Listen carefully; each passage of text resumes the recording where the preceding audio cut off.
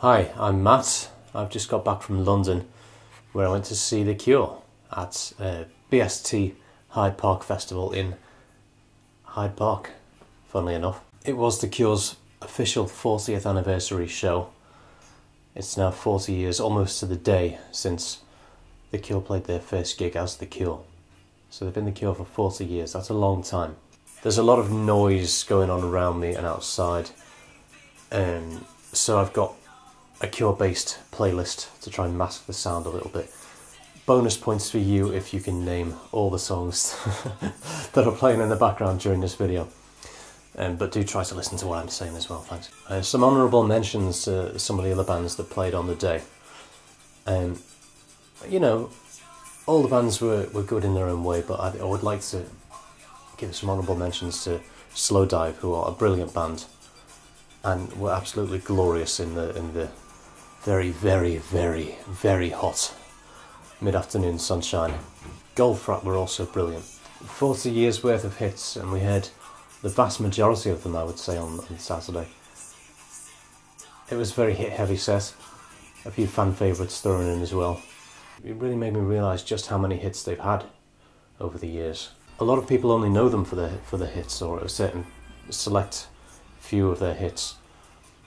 I'm someone that loves those songs, but I also love their album tracks and their their you know their more rare songs. B a lot of great B sides as well. I think they're very much an albums band as well as a singles band. Weirdly enough, it's almost like they it's almost like two separate bands. Uh, there's one band that writes great singles, and another band that writes great albums, completely separate from the singles. The version of the Cure that we saw on Saturday was very much the singles band almost everything was in there that you could have you could have asked for um, from a, a, greatest hits Cure set. There were a few album tracks as well, and I, I have to mention "If Only Tonight We Could Sleep," which is always such a such a moody and atmospheric piece of music. It was perfectly placed in the set because the sun was actually setting during that song after a whole day of standing in that park in the blazing hot sunshine. It was such a relief. The song fit that moment perfectly with the sun going down at that moment. And Robert Smith even commented afterwards that, oh, that made the sun go down as if he didn't plan it that way, as if he didn't plan the set list perfectly so that the sun was going to be setting at that precise moment. I think he probably did, to be honest. The set started with it was as if they were going to play the whole Disintegration album in full, which would have been a, just incredible. But at the same time, I don't think it would have worked because because of how hot and sunny it was. That album, and in particular the two songs that they played at that point, the first two songs, "Plainsong" and "Pictures of You." Those those songs and that whole album, uh, it's as if it's just carved from ice. That's how it feels to me it's such a wintry album in, in so many ways. I don't think it would have worked to play the whole thing. And it did feel a bit odd.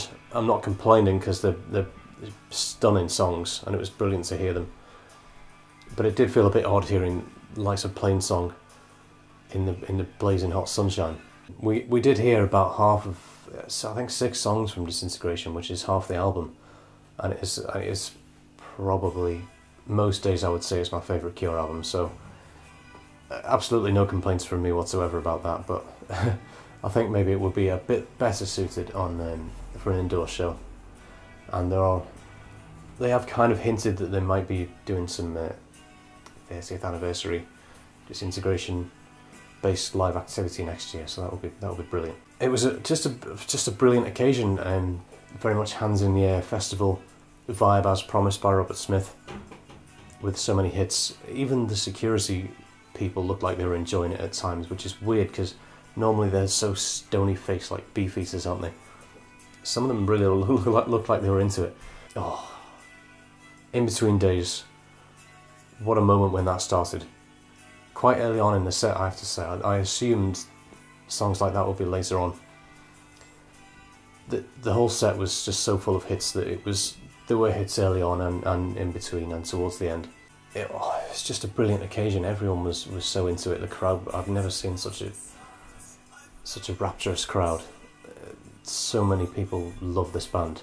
There were so many highlights, and I, I could, I really could talk about this for so long, um, but I haven't. I've got other things to do, unfortunately, with my life.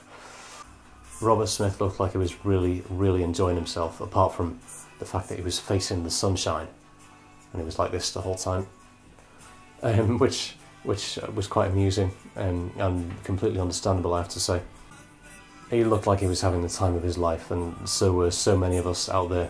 He was in great form, seemed very happy to be there. I, I'm not sure how many of us were watching The Cure exactly, um, somewhere between 60 and 70,000 people. That's a lot of people. It's a lot of people. Simon Gallup, the, the other almost original member, not quite an original member, but very close to being an original member. Oh, it's just he's just brilliant to watch. You know, going up and down the stage, playing those legendary bass lines. Reeves Gabrels tearing it up on guitar. He's such a great addition to the lineup of the band. Obvious mentions would be uh, a night like this, and uh, on the edge of the deep green sea. Brilliant, brilliant performances. It was a, it was like a part a, a true festival party kind of atmosphere. There were some darker moments. The song "Disintegration" was was really hard hitting actually, um, really hypnotic. That was a great way to end the the main set before they had that encore, and the encore itself was was quite surprising. Yeah, they did the likes of Lullaby, but they ended with five Three Imaginary Boys era songs. You had this really exhilarating punk energy at the end of the set, which was a brilliant way to finish. Very fitting because it was the 40th anniversary and they were going right back to the beginning at the end, which was a brilliant way, a very fitting way to end. But you had five songs Boys Don't Cry, Jumping Someone Else's Train, Grinding Halt, 10.15 Saturday night, which they started six minutes too late. It was 10.21 Saturday night when they started it. Very bad timing, guys, come on. And of course they ended on Killing an Arab, which was just, just absolutely stunning way to finish. Very hard hitting stuff. So much raw energy in there. This is the band that, that half an hour or so earlier were playing a, a, a glorious jangle pop song like Friday I'm in Love. And then they're going out with this, this hard hitting punk song essentially. And that, that pretty much sums up why why ultimately why I love this band. I mean there are so many reasons to love them, but what I always say is that they they've got such a, a rich and diverse back catalogue.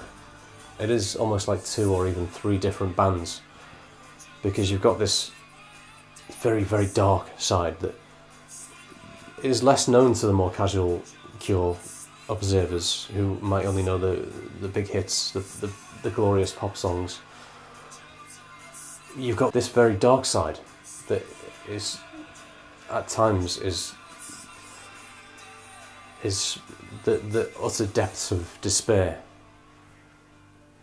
Whether it's heartbreak or whether it's existential despair.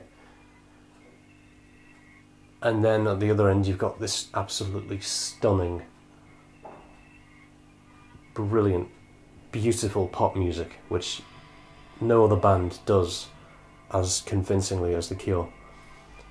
And then they also do everything in between those two extremes, and they do it all so well. it's unbelievable. I mean, they're like they're like the Beatles to me. How, how the Beatles are for a lot of people, that is what The Cure is to me.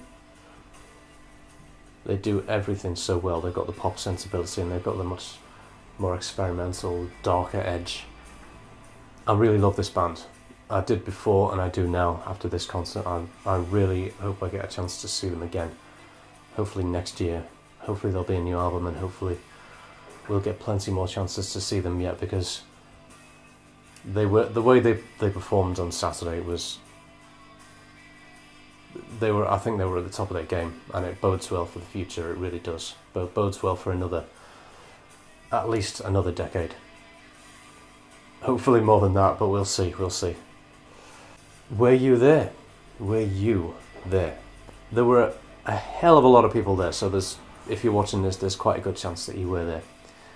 I'm sorry if you weren't, because you, you missed uh, something pretty special. Hopefully you get the chance to see them again soon. But if you were there, let me know your thoughts. What did you think of it? Follow me on Twitter at Matt Ford Music. Get in touch with me on with me on there. I've been tweeting about the Cure constantly for the past few days, and I'm likely to continue yet retweeting other people's tweets as well. Thanks. See you again soon. Goodbye.